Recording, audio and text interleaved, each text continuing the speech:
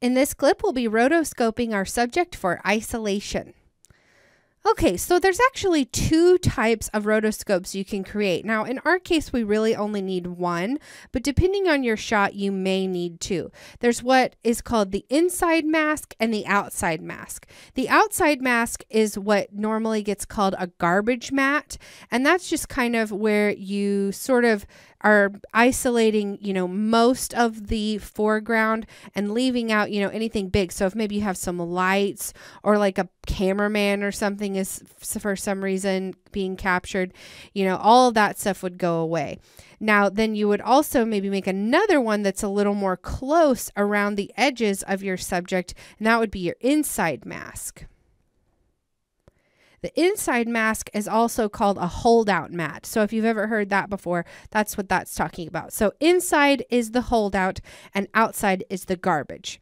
Um, so in our case, we really only need one because this is not a terrible green screen that we were working with here. So we can just kind of come in and go right around the dog and that can work as our outside matte and we really don't even need a holdout matte at that point. So let's go ahead and create that.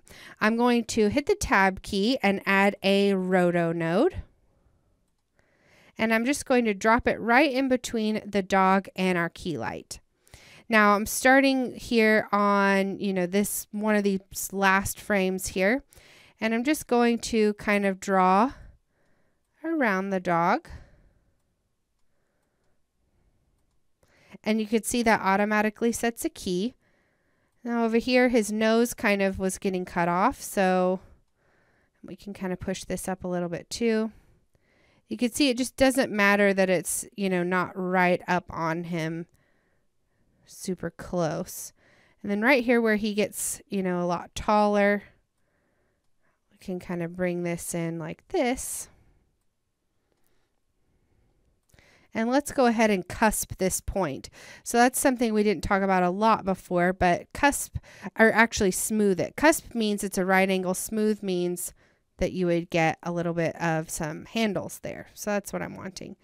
And then I'll grab my selection tool, select all, and kind of pull that out. Now let's see what this looks like in between. When it looks like we need a little adjustment here.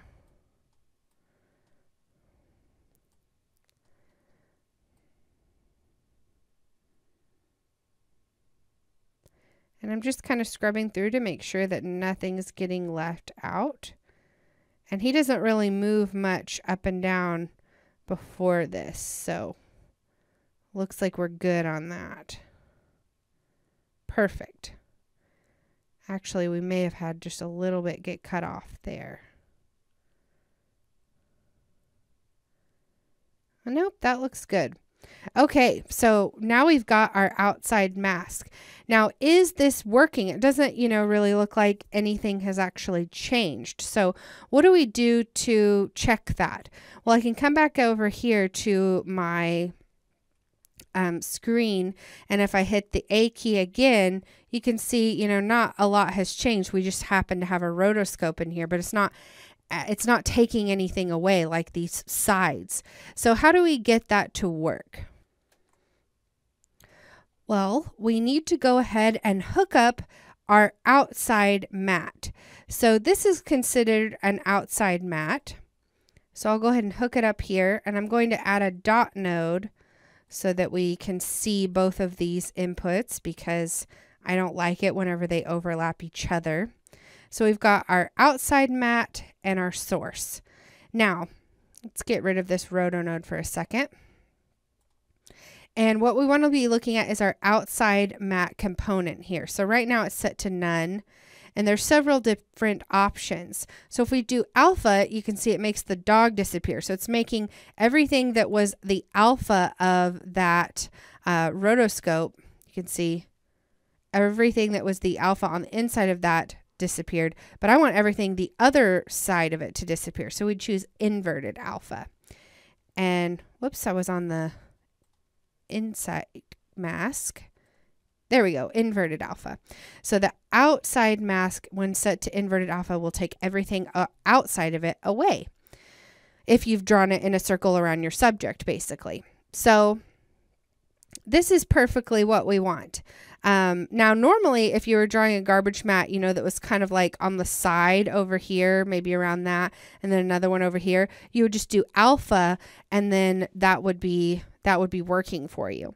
So now all we have to do is start working with the controls, the screen matte controls to kind of get the dog to have a little bit more of a solid alpha instead of kind of this black and white sort of, you know, hazy. We want it to be a lot more solid like this area over here. So let's jump into our next lesson where we'll learn about our screen matte controls.